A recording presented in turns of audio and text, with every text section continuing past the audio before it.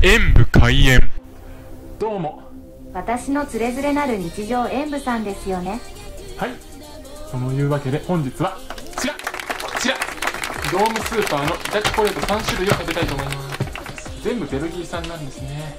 ベルギーチョコレートってなんかコンビニとかのそういう商品では食べたことありますけどこれで直接食べるのは初めてな気がします。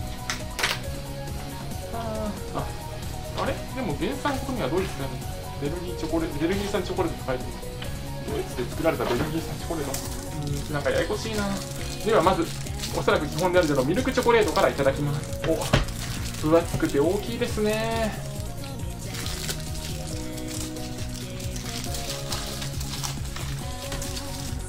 板なので。はい断面はこんな感じです。いただきます。まろやかなミルクチョコレートをベースにホワイトクランチチョコはザクザク回って甘い。ダークチョコレートはやっぱりちょっと苦めかな。あでもそこまででもないかも。チ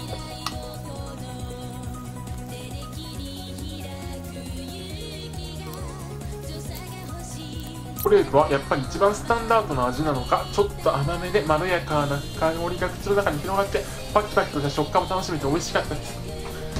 でも他に比べると特徴がないのが特徴みたいなところがあるのでこう点数としてはこちらの点数とさせていただきます。もうちょっと尖っててもよかったかなと思いました。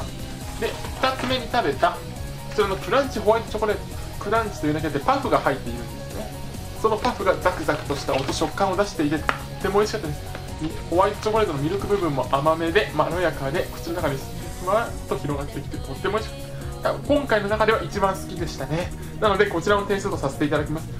そしてまあ今回の中で一番って言っちゃった後に紹介するっていうのもどうなのかって思いますけどこちらのダークチョコレートはダークチョコレートと言っていますがそこまで苦味が強烈というわけではなくて確かにミルクよりは抑えめなんですけどそれでも食べら苦くて食べられないっていうほどではないですね。なので苦味を期待するとちょっとうーんかなとも思いますが食べやすさはねいいかもしれません。ただもうちょっと苦くてもよかったかなと思いますのでこちらの点数とさせていただきます。ではおぼろ好き強情っぱりの一夜かな一夜で何を押し通そうとしたのでしょうか。ご視聴ありがとうございました。コメントしていただけるとそしてよろしければ他の動画も見ていただけると動画を拡散していただけると嬉しいです。演武永遠。パソコンおよびスマートフォンのアプリの方はクリックをお願いします。